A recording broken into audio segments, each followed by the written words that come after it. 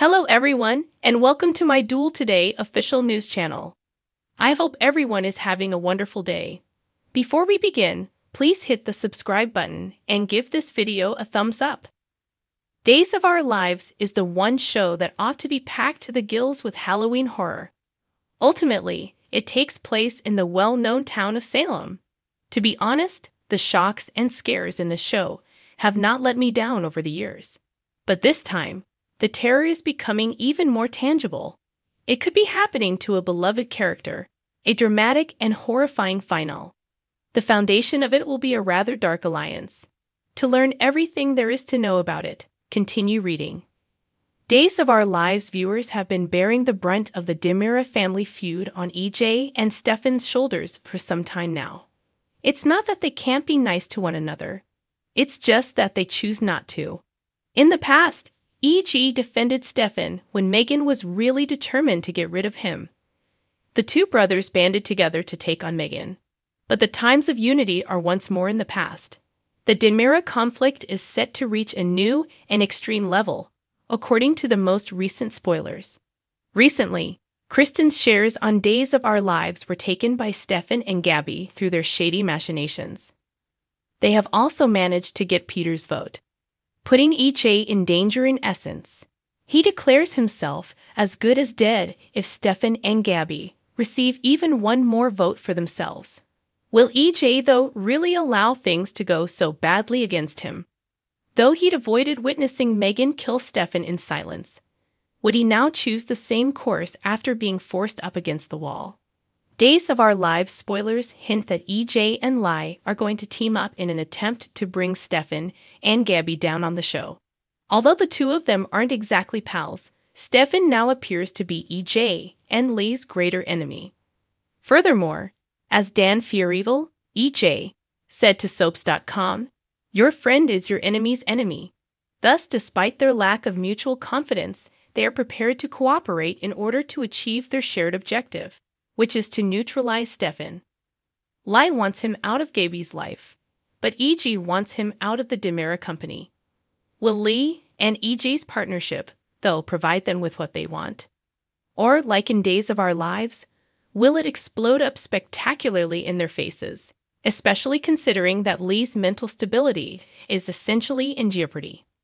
Additionally, EJ is only trying to keep himself together for Nicole and the child. The child that he does not yet know is Eric's. Honestly, it seems like everything is leading up to a real nightmare right now. Furthermore, keep in mind that Gabi is about to leave Duo.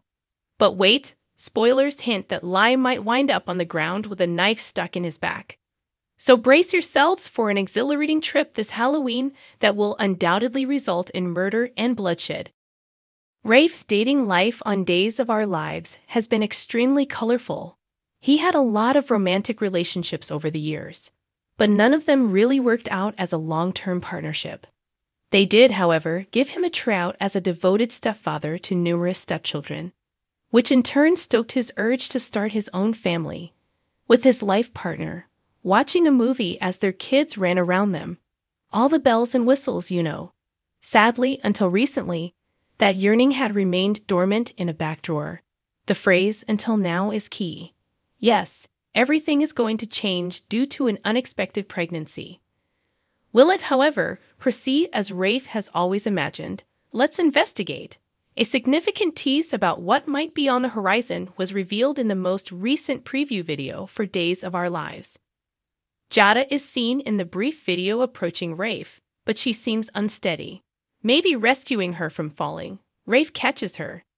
Jada has been in excellent health as of late. Therefore, if a sudden fainting spell is related to health, it feels strange. There hasn't even been any preparation for that. She hasn't been doing anything unusual that would put her under such extreme physical stress. What else, therefore, gives soaps these episodes of fainting? Well, obviously, pregnancies, or at the very least, fears them. So is Jada on Days of Our Lives pregnant. Considering that she has initiated a serious connection with Rafe, it is undoubtedly plausible. We don't see how that can't be the case because the two of them have had intimate relationships. However, if she is indeed pregnant, This raises a very important and consequential concern. Can she hold on to it? It won't be the first time if Jada's pregnancy test turns out to be positive. Regular fans of Days of Our Lives would recall that Jada became pregnant with Eric's child not too long ago. It was also an unintentional pregnancy. However, Jada decided to end it. Even though Eric had always wanted to have a child of his own. Despite this, Jada decided to terminate the pregnancy since, at that time in her life, she was not ready to have a child. Could things be any different this time, though? On Days of Our Lives, Jada and Rafi are deeply in love. She really is smitten with him. This is hardly surprising given the two have been harboring feelings for one another for years. Will love, nevertheless, be sufficient to convince Jada to make a different choice this time? Because this pregnancy will also be unplanned and accidental, just like the last one, she will almost definitely be plagued with doubts about what course of action to take. Can Rafe persuade her to start a family with him? How do you feel? Comment with what you know. Updates and teasers for Days of Our Lives hint that EJ DiMera will land a new job. Will EJ become the new Salem DA now that Melinda Trask has withdrawn from the race? Melinda made a grave mistake when she decided to date Li Shin, a man she had tried to prosecute. Paulina Price, the interim mayor at the time, fired her because the two of them had secretly videotaped one other and were essentially spying on each other for their personal purposes. There hasn't been a district attorney in Salem for a few months, and as a result, court matters are backlogged. The crime rate in Salem is rising, and the assistant district attorney isn't doing a very good job. As quickly as possible, Paulina has to recruit a capable district attorney to take over. EJ has held public office as a former mayor of Salem. Thus, he does have legal expertise, albeit not as a district attorney. Although Paulina has the authority to appoint someone to the district attorney position to serve out Trask's term, the courts will delay years if the position is not filled. Paulina is not happy that she has to hire a DiMera because there isn't anyone else available. But when the term ends, he will be up for election like any other public position.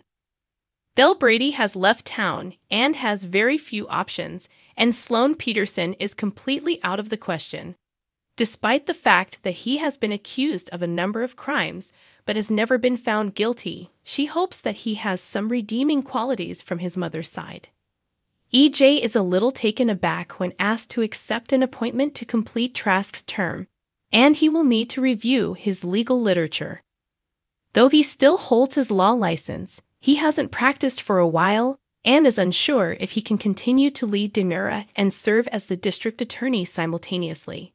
He doesn't see any conflicts of interest, but he would be overcommitting himself.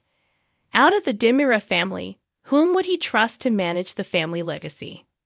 EJ accepts Paulina's offer and gets ready to catch up on the cases he'll need to prosecute, even though it will be a lot to manage. After literally years of Trask, who has made it her mission to arrest half of his family, Salem is ready for a new district attorney. Thanks for watching if you like this video. So please don't forget to subscribe my channel and don't miss any update.